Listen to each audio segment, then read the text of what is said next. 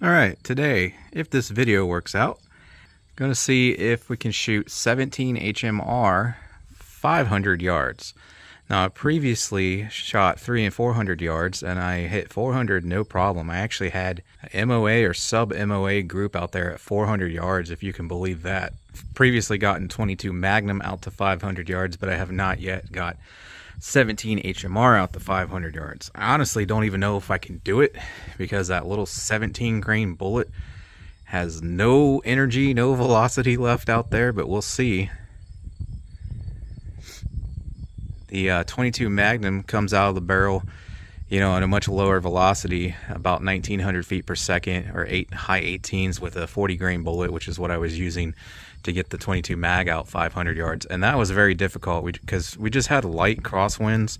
They would kick up here and there, and they were varying by two or three miles an hour, and that was pushing that heavier 22 mag bullet out there all over the place, left and right, depending on just a couple mile an hour difference in uh, wind out there at that range.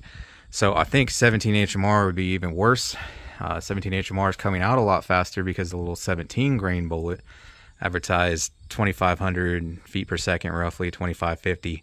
Now it does have more aerodynamic bullet, but it's less than half the weight. So I mean, it's got nothing left out there at 500 yards, and I've already, I can already tell you from experience that uh, the wind blows these 17s real bad. Like even at 100 yards, if you got a decent amount of wind, you can see the, it'll push your bullet inch or two, depending on how fast your wind is. The 22 Magnum does a much better job at fighting the wind. That said, this is why I'm trying this today pretty calm day. Uh, forecast said four mile an hour winds, and every once in a while it does kick up. And honestly, I, I feel like it's a little more than four miles an hour, but like right now it's super calm. Uh, there it is. You can see that little tag there is barely moving, but at times it does kick up.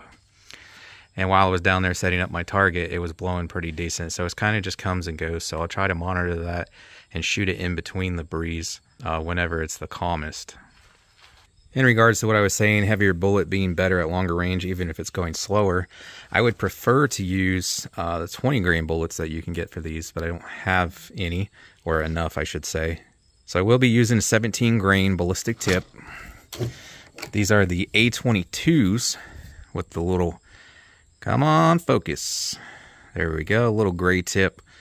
Uh, but these are advertised 100 feet per second faster than your standard 17 grain uh, because these are designed for their uh, semi-automatic rifle, so a little extra pop to make sure that reliably cycles there. Uh, so that extra velocity will help us out a little bit. Out there on that middle mound, which is a laser rangefinder confirmed 500 yards, and you can see that little flag down there kicking to the right.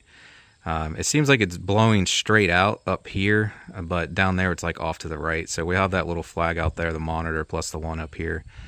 But there's my, actually that's a 20 inch steel gong.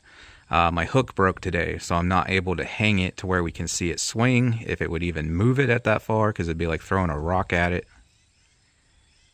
Um, we probably wouldn't hear the impacts anyways, but I was going to try to use my smaller, thinner 16 inch, hoping that I might be able to hear it hitting, because spotting it out there, especially with like zero energy left, is going to be very difficult, if not impossible. Um, at least with the three to nine I got on there. It's just a little $40 Simmons three to nine. Um, ideally, you would have something with way more magnification uh, to be shooting this far, especially with something that's going to drop like a rock there. Almost positive I'm going to adjust that all the way up, and I'm still not going to have enough. It's still going to be hitting low, so I'm also going to have to use Kentucky windage. Um, but anyways, I'll give it a shot here, and uh, if it doesn't work out, then I will try again and probably just splice it into this video after this try. But maybe we'll get lucky and get some hits today regardless. I'm also not liking that wind out there. Look at it, it's kicking up right now.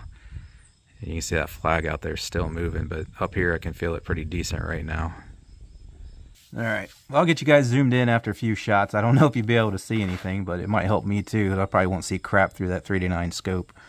I just gave it 180 clicks up from 100 yards zero. I don't even think it's supposed to go that far. I'm afraid the dial's going to pop out there, so I'll just try it now. It's still clicking and giving a force feedback, but 180 clicks.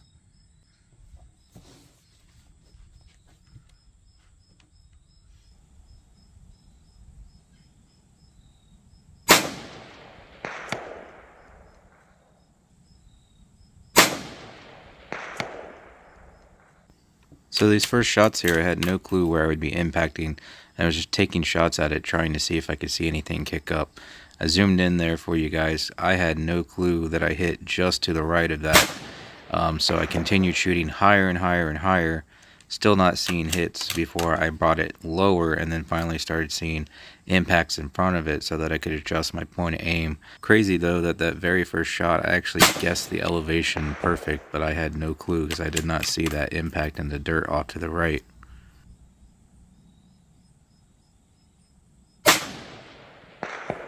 After that shot, assuming that I was shooting over it, I started to aim low, see if I could see the impacts then and get this cool little ricochet here.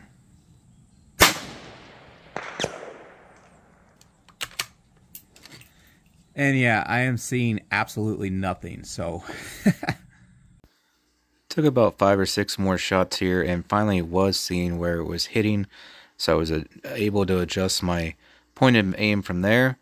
And these are the results. And they weren't perfect at first. I was still working on kind of like where exactly it was perfect to hold. Um, but I did manage some hits here from the get go, and then I just kind of kept adjusting it, trying to get more hits.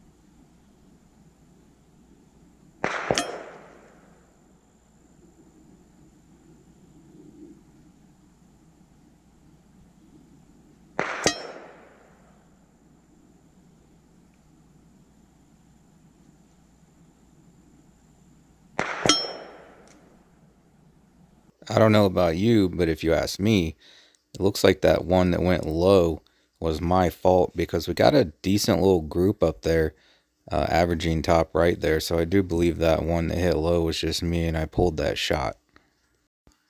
After those six shots there, the wind just would not make up its mind. So I was chasing the wind around the rest of the day constantly having to adjust my aim left and right because it kept switching back and forth on, but I did still manage a few more hits on the plate.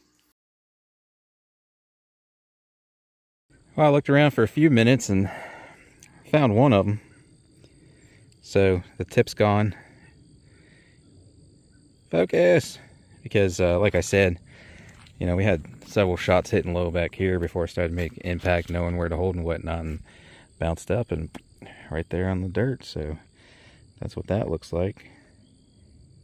There you have it. If your scope has enough uh, room for adjustment or if you're good at Kentucky windage and can hold over right, or if you have some mil dots or whatever for the correct holdover, uh, 17 HMR, an accurate one, such as mine, you can definitely get 500 yard hits out there, no problem, on a 20 inch gong, provided that the wind cooperates.